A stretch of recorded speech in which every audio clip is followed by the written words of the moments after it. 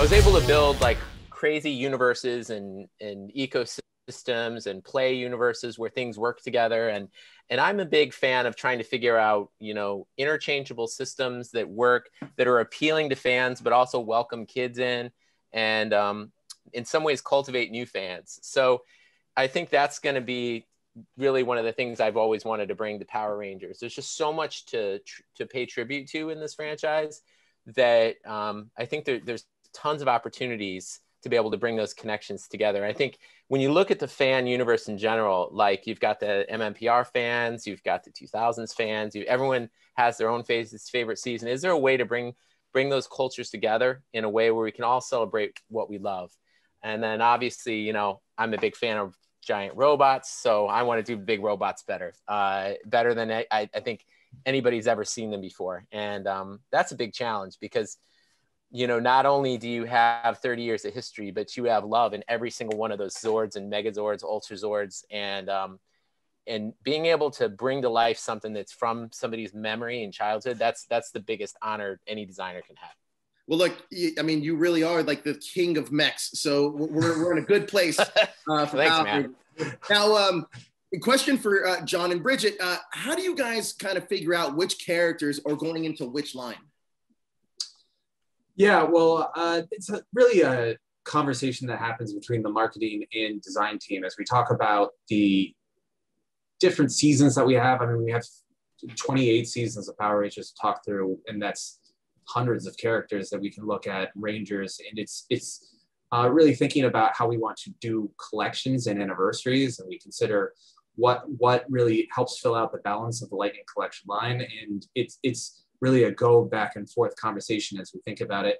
And it, it varies. There's lots of different reasons to choose certain characters. And, um, you know, as, as we make the decisions, we listen to the fans, we listen to feedback as well. And it's sort of everything contributes a little bit in the process as we decide who we're going to bring to the collection. I mean, ultimately, as we go forward, we want to try and be as representative of all of the seasons as possible. Like to what John said, there are fans of every season that is out there from Mystic Force to Turbo. So it's it's one of those things that we want to we, we hear you all and we want to get Lightning Collection figures out there for every season. It's just we're working on it. I yeah, and I think w- when you uh oh no, go ahead, man. No, I was just saying I, I love that you mentioned Mystic Force because I want that Liambo figure. Just saying. Oh yeah, come on now, Koragg. That's yeah, that's Koragg. you gotta you gotta go with Koragg. So I my my feeling too is like when when um when I work with Joe and John and, and Loretta specifically, Loretta is our incredibly talented designer. A lot of you guys have met her on the Fan First Fridays. She she um, helps weave together these different universes in a way that makes our hobby fun. We we look at different um, different seasons that are going to have the anniversaries, like Joe's that John's talking about. But then, like, how do we complete collections. While at the same time introducing a new character that's going to spark the interest of a new collection of rangers you know and not just not just the good guys like the villains and the things that are going to round out that universe. And then also like uh, how do we how do we bring that diverse cast of characters to life you know so that you know we have we have lots of great um, men and women rangers throughout the history. Like how do we do great tributes to all those characters um, and really showcase all those awesome moments but also bring to life some of those uh, deep cuts while also trying to keep um, the general fan or, or a person who just maybe knows about you know white ranger or tommy or something like that engaged but then show them characters like the red sentinel right. that are so cool looking that you you want to read the comics and go deeper and i think that's that's what that's what we try to do strategically as we meet and try to weave this universe together a little bit now you talk, you just talked about deep cuts, and recently you guys announced more metallic armor uh, figures for the Lightning Collection. But many fans are wondering, where is Tommy? When can we expect the right White Ranger uh, in the future lines? So, so I know everybody wants to have more Tommy figures. So we're gonna never enough Tommy. never enough, never enough Tommy. Um, you know, it's I guess stay tuned. It's that's the cool thing about having a, a capsule program. It allows us to build out that universe. We keep we keep thinking about when those when is the right time to introduce those characters Um, you know, and that's the cool thing about the Zeo Crystal in general. In gen- it's like this awesome MacGuffin piece. Season three Mighty Morphin Power Rangers it breaks up. Uh, it's it, in a way as you collect these uh, metallic rangers, you're getting a you're getting a glow in the dark crystal that you can start to build your own Zeo crystal, and that's and that's a lot of fun. So, yeah, any any opportunity for us to do more Tommy. So we we heard it here from Joe. Make more Tommy figures. Hey. I, I want the Dino Thunder Tommy figure. I'm not gonna lie. Oh, are you kidding me? Of course. Iteration. Go of, go T Tommy. Yes, exactly. go T Tommy. Absolutely. You know what though? I I, I have the uh, Kat metallic figure, and let me say, it's a beautiful piece. Like it's a beautiful piece. And the one thing that really uh, stands out to me is that that shiny element that you put put into the figure. And honestly, how did you guys achieve that? Because it is pretty freaking cool.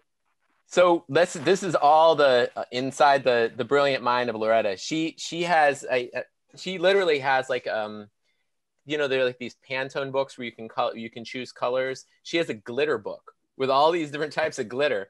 And so it was a combination of glitter, translucent plastic, pearlescent overtone.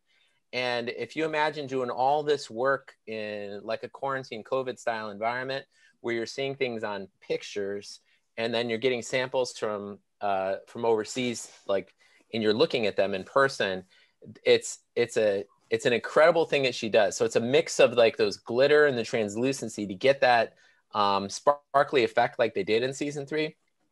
Like she she's really doing an incredible job. And as you look at the ones that were just revealed on Pulse, yeah, you can't really use the same treatment. Like on a darker character, like um, like Blue Ranger or Black Ranger, th- those are all you know a slightly different mix so it's it's a there's a trick to it um no but she's she's she's doing an incredible job it's amazing I love the inside baseball about the Lightning collection, by the way. part of it. oh yeah, I mean that's that's what we do. We're we're excited by it. No, we're we're big production geeks. We we love we love met we love um how it's like how things are made, how to make things better. Um, and there's a lot there's a lot that goes into these figures between the sculpting, the engineering, the packaging it's it's it's a lot and well, and you know fans get to see the end product but there's so much that goes into them I mean that's the thing because I was as an adult I've not I'm not the biggest action figure collection guy but I have literally every single uh, lightning collection action figure you guys can put out except wow. The the uh, the the Rita and Zed uh, wedding special that's the one I, I haven't gotten yet yet oh, um, that's that's like the funniest commercial ever, Bridget. When I first saw that, Bridget, I was like, I still remember. I was brand new to the brand, and I'm like, what is this? Is amazing. now, uh, personally, which which Rangers do you want to see in the Lightning Collection? Me personally, Phantom Ranger's my favorite. But which Rangers uh, are, are you looking forward to? Uh, I, I think personally, first, I'd like to see Solaris Knight going in there. But I go back to Mystic Force again. But it's just I like the cape. I like uh, everything about it. It's just cool armor. You know, the the the armor pieces, everything about it is cool. It's just a different look, and it's very different, and, and sort of stands out from the rest of what the Power Ranger se- seasons do and look like. Absolutely. Yeah, you know, I it's this is this is like one of those create like choose your favorite artist. Like I don't know, right. but um, yeah, I mean, what's not to love about about Phantom Ranger. Nobody knows who he is. Like there's it's super rad looking teched out costume. Um, I'm a big fan of Blue Senturion. You know, I think that's that's a really rad figure to do. Like it's it's it's just an interesting idea. You know, he's got this this mecha that it's like this huge weird car. Like it's that's really cool. I'm a I'm a big fan of um weird foot soldiers. So like the uh God, why can't I remember their name? It's escaping me. The foot soldiers from in space. The uh oh, the um Quantrons. Quantrons. Yes, Quantrons. Yeah, yeah, the Quantrons. They look like they look like you know they're in funny armor and stuff. I'm a big fan of those guys. Um, yeah, I, I could sit here all day and talk about all the weird things. And Koragg from Mystic and Mystic Knights really really cool. There's I I like things that really push the limits in terms of um technical expectations. Like so, there's like you know armor and things like that is it's just fun to work on or, or look at and and when you think about all your rangers you know it's don't get me wrong like our spandex rangers tried and true it's really cool to have them but like when when the seasons mix it up and they do something unusual that's that's when it gets really cool for me that's awesome. Now, hardcore Power Ranger uh, toy collectors are very serious about their fan accuracy, and you guys have been great at addressing any issues the fans have had. Now, is there anything that the fans have pointed out that you're looking to address in upcoming lines? Well, you know, it's it's one of those things like when we um, when we do these reveals, a lot of times, you know, on Twitter, people will point out some things that are inconsistent. Um, you know, and I I think it's it's part of the evolution process of working on a line a line like uh, Lightning Collection. There's always room to improve the the portraits, get uh, the morphers more accurate or something like that. But sometimes that's at the sake of um, you know, a figure from two years ago may not match the figure that you're you're getting at retail. So we have to try to figure out what that healthy balance is.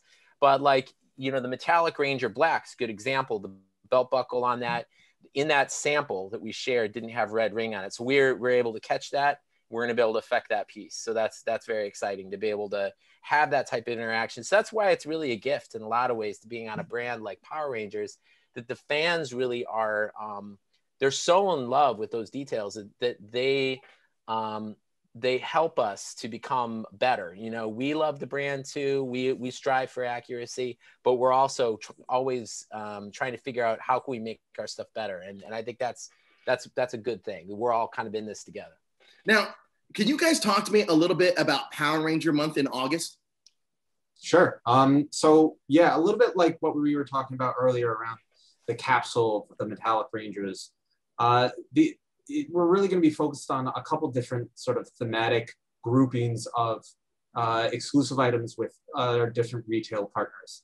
And it's really leaning into those partnerships with uh, these, these retailers we have fantastic relationships with and just helping to build thematic story points that help these different exclusives hang together. And so uh, there's a reason for them to, to be released at the same time. There's a reason for you guys to want to go out and collect them all at the same time because they're supposed to be sitting next to each other on your shelf. They're, they they come from the same season or they, they have the same reason that they're, they're hanging out next to each other.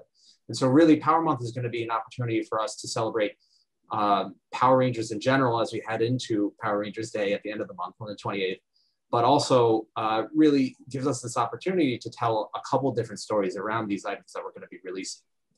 And and correct me if I'm wrong. GameStop is going to be is going to have the pink Power Ranger capsule, and it's going to be Walmart that's going to have the retro capsule. Is that correct?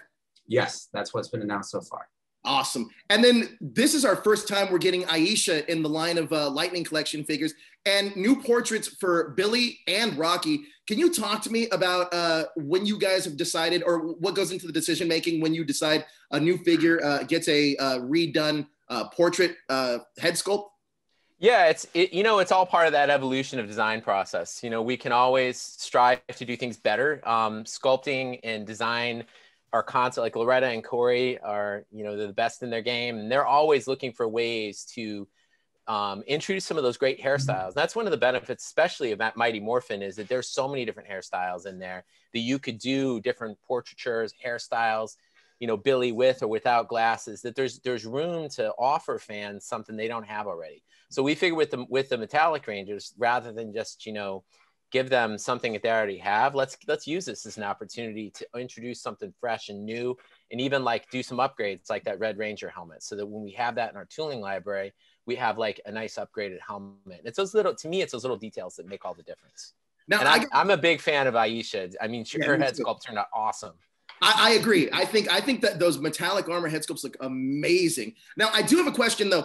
Uh, for a lot of fans that either missed out on previous figures from other waves, is there because you guys have done a phen- phenomenal job of making sure we get fresh news figures every single wave, which is like in toy lines that that's really like kind of unheard of. You usually see figures recycled. However, with uh, with the Lightning collection, with for a lot of fans that maybe didn't get previous figures from other waves, do you guys have um, are planning on releasing some of those past figures?